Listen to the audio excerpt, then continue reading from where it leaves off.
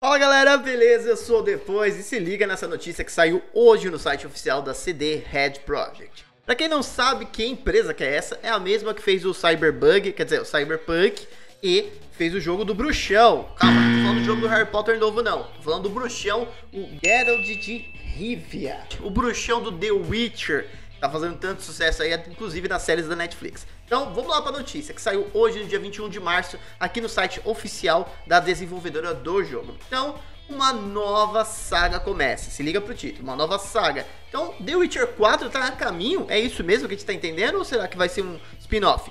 Pelo título, uma nova saga começa, dá a entender que sim, é uma nova continuação do jogo e The Witcher 4 está a caminho. Mas vamos por partes aqui. Bom, aqui no site eles já estão falando o seguinte: estamos felizes em anunciar que a próxima parte da série de videogames The Witcher está atualmente em desenvolvimento, dando início a uma nova saga para franquia. Bom, o que esperar dessa nova saga? Será que vai ser uma continuação direta do The Witcher 3? Ou será que eles vão pegar e tacar a Ciri ali, uma nova aventura, e deixar o Geralt de lado ali? Pra quem lê os livros vai saber do que, que se trata, né? até onde o jogo foi e o que, que vai vir depois. Mas Ainda fica aquele certo mistério ali, né? Porque The Witcher, como na série, é uma questão de mistura de elementos ali que vão atribuindo o desenrolar da história. Mas continuando aqui, eles publicaram essa fotinha aqui no Twitter, chamou bastante atenção e agora a gente vem aqui no site para olhar, que é essa imagem ali do lobo soterrado aqui com neve e falando The Witcher, a New Sagas Begins. Ó, que inglês top, gostou, né? Achei bonito, viu? Então, continuando a nossa matéria, o que, que eles estão falando aqui? Este é um momento emocionante, pois estamos migrando da Red Engine para Unreal Engine 5. Então, Red Engine é a engine do Cyberbug, aquele joguinho bonitinho lá que tá dando bug pra caramba até hoje e ainda tá recebendo atualizações. E praticamente quase quebrou as pernas da CD Red Project, que é a desenvolvedora aqui do The Witcher e do Cyberbug. Então, migrando para Unreal Engine 5, que é aquela engine que foi anunciado o último Matrix demo ali pro PS5 e Xbox Series, que estava sensacional por sinal, eles estão migrando e fazendo uma parceria com a Epic. Então, eles estão falando aqui, ó, iniciando uma parceria estratégica de vários anos com a Epic Games. Abrange não apenas o licenciamento, mas o desenvolvimento técnico do Unreal Engine 5, bem como as possíveis versões futuras de Unreal Engine, quando, é, quando relevante.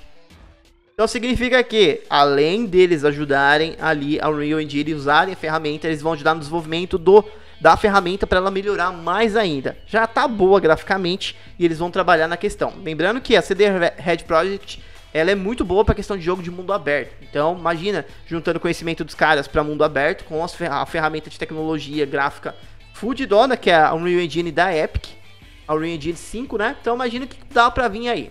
Então, vou continuar aqui. Bem como possíveis versões futuras da Unreal Engine, quando relevante, colaboraremos de perto com os desenvolvedores da Epic Games com o objetivo principal de ajudar a personalizar o mecanismo para experiências de mundo aberto. Foi o que eu acabei de falar. Eles vão ajudar a melhorar a experiência. Então, tem a, a Epic tem a ferramenta perfeita ali graficamente e os caras têm um conhecimento de mundo aberto. Infelizmente eles cagaram na questão do Cyberpunk, mas eles têm um conhecimento para mundo aberto. Então imagina juntando o melhor dos dois mundos ali que coisa linda que vai ser o próximo jogo para as gerações atuais. Eu acredito até que pode ser que o próximo jogo só venha na geração atual. Nada de PS4 nem Xbox One, viu? Talvez só a geração atual. Bom, neste ponto não há mais detalhes sobre o jogo, como prazo de desenvolvimento ou data de lançamento disponíveis. Red Engine, a tecnologia que alimenta Cyberpunk 2077, ainda está sendo usada para o desenvolvimento da próxima expansão Cyberpunk 2077. Então, com isso, você já ficou de quebra aí sabendo que o Cyberpunk ainda vai receber mais atualizações e mais expansões para tentar melhorar mais ainda os bugs do jogo. Então, diz pra gente aqui nos comentários o que, que você achou dessa notícia. O bruxão tá voltando aí em The Witcher 4 ou será que vai ser substituído pela Ciri? Hum, o que, que você acha? Diz pra gente aqui nos comentários, a gente vai adorar saber a sua opinião também. E se você já jogou The Witcher, também diz aí pra gente. Se você não jogou, tá perdendo a oportunidade. Direto The Witcher 3 The Complete Edition tá em promoção por aí. Então, vez ou outra você pode aproveitar a oportunidade de ter esse jogão aí no seu videogame e jogar um belíssimo senhor jogo aí no seu console. Então se você curtiu esse vídeo, já sabe, senta o dedo aí nesse botão de like para ajudar a gente aqui no canal. E se você é novo por aqui, se inscreve no canal e ativa o sino de notificações. Assim o YouTube vai te notificar de tudo que a gente vai trazendo aqui no canal. E você não perde nenhuma novidade aqui do Eu Sou Depois, beleza? Então é isso aí galera, valeu, falou e até mais!